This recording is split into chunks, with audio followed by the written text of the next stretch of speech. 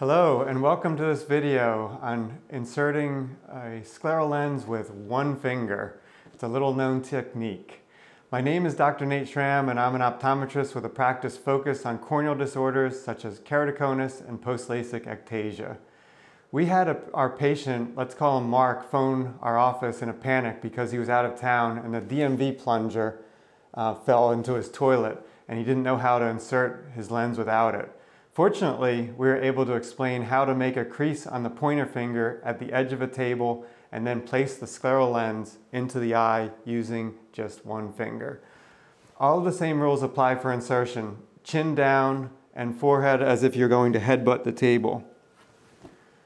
Hold top lids with the other hand and then use the middle finger of the hand with the scleral lens to pull down the lower lid while the pointer finger inserts the scleral lens.